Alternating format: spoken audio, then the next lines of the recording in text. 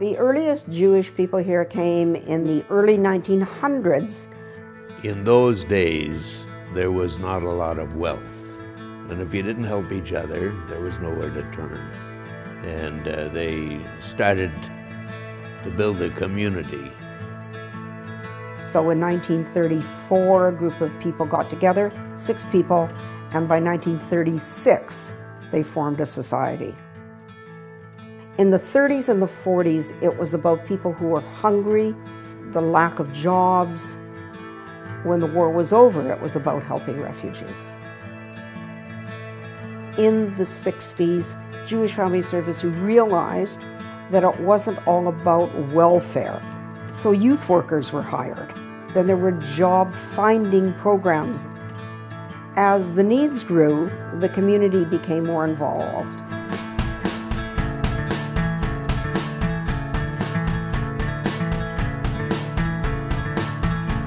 75th, they like me.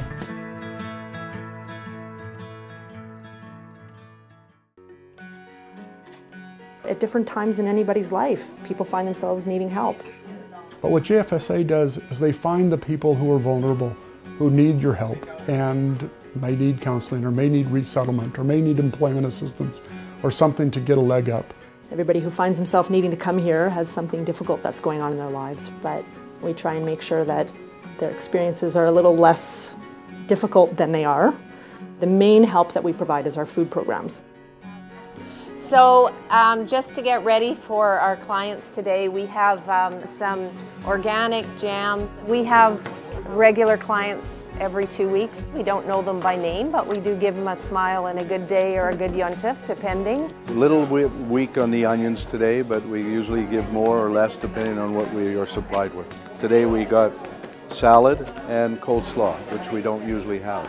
The success story is when we stop seeing the client. They've gotten on their feet, they get a job, and they don't have to come to the food bank anymore. I came in Vancouver in 1996 and where can I have friends from JFSA. We run a lunch program. There for a lot of seniors, this is the only thing on their calendar. When I came here, they were like my sisters and brothers. Now I'm not in good condition because I fell down a couple times and broken one shoulder and second shoulder. So, like usual, I came to JFSA, I asked them for help.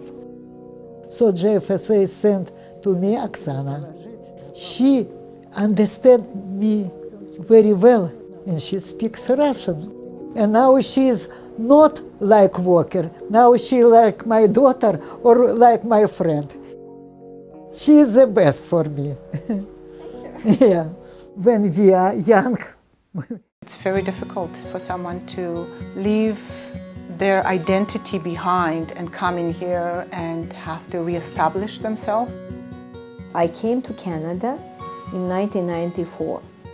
When I came here, I didn't have anybody like relatives or friends. I came to JFSA. I had a meeting with the counselor and the end of the, our conversation, she gave me a big basket with fruits and crackers and cheese. And I couldn't understand why. I said, no, I am a Jewish. She said, yeah, but even because you are Jewish, that's why I would like to give it to you. I, I went home and I just cried all my way with this basket and I couldn't understand why that. The first time in my life, because I'm a Jew, something, something good for me. When I came to Canada, um, I thought to myself, well, within a month I'm going to be employed again. And then I realized it's not that uh, easy. I wanted to ask everybody how they got their last job. It's very isolating and depressing to be out of work, and it affects people's confidence and really their whole lives. My first six months in Canada were really frustrating. I couldn't find a job. I couldn't get a job. We say how it looks in a diagram would be no, no, no, no, no, no, no, no, yes. We help to create those opportunities, those job leads. We help them find work. I got to the employment services of the JFSA and here they found for me my first uh, employment in Canada. Now I've been doing the seminar for uh, newcomers about the taxes, the tax system in Canada in Hebrew. I do that as volunteer and for giving back to the JFSA for what they gave me. And it is part of a big cycle. And at times, when we're doing well, we help others, and sometimes we need help. You, you shouldn't feel shameful about asking for help because in the past you helped other people, and so now it's your turn. My life got very, very, very bad. I was confused. I was terribly depressed. Medication wasn't working for me. And one evening, I decided I couldn't go any further, and I tried to commit suicide. We're in the business of providing hope for clients who are feeling very despondent or very despairing or very resigned that things are never going to be any different. It was recommended to me to go to Jewish Family Services. They had counselors who could work with me and with the help of little cards, I'm lovable just as I am. I became better and better.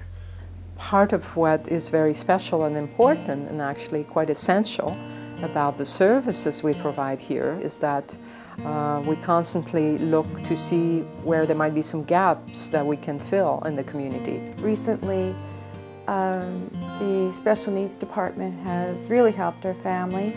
This mother was certain that her child uh, had autism or some variation of it. But when coming to professionals, they just, because she was older, they just pushed it aside.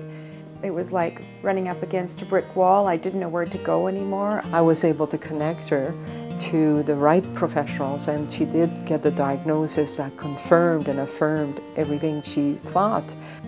When I ran out of steam, I, I came and I wished I would have come a lot earlier because it, this department was like the missing link for me.